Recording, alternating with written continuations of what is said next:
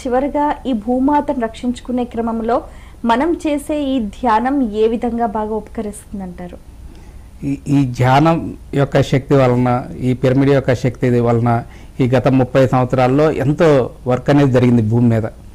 ఒక విధంగా ఇంతవరకు జరగనట్లయితే గనక భూమి కొలాప్స్ అయ్యేటటువంటి పరిస్థితి. రెండు వేల పన్నెండులో ఏదైతే ప్రమాదం జరుగుతుంది అనుకున్నామో అది జరగాల్సిన పరిస్థితి.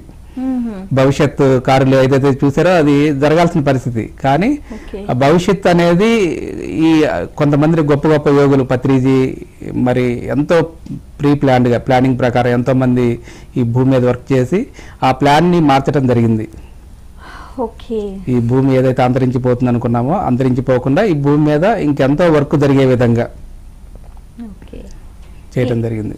ఈ భూమికి సంబంధించి ఈ వర్క్ అంతా కూడా ఆత్మ ప్రయాణం ద్వారా మనత మాస్టర్స్ మనం ఈ భూమి మీద ఖనిజ జాతిలో మనం ఎన్నో అనుభవాలు పొందాం. ఈ డైరెక్ట్గా ఫిజికల్ బాడీలోకి రాలేదు ఈ ఆత్మ.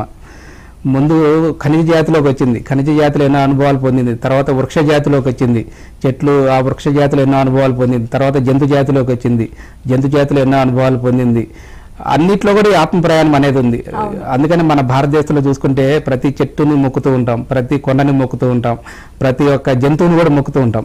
ప్రతి దాంట్లో ఈ ఆత్మ అనేది ఉంది. ఒక జంతువుని చంపుతున్నారు ఒక జంతువుని హింసిస్తున్నారంటే మనకి మనం గాయం చేసుకుంటున్నట్లు లెక్క. మన శరీరాన్ని మనం కోసుకుంటున్నట్లు లెక్క. కాబట్టి మన మూమెంట్లో జీవహింస చేయరాదు. ఏ ఏ జంతువుని హింసించరాదు అనేది. ఎందుకంటే ఆత్మ స్థితిలో మనకి మనం చేసుకునే హింస కాబట్టి ఎవరు ఆ హింస చేయొద్దని చెప్పేసి మెయిన్ మోటోగా తీసుకోవడం జరిగింది ఇది.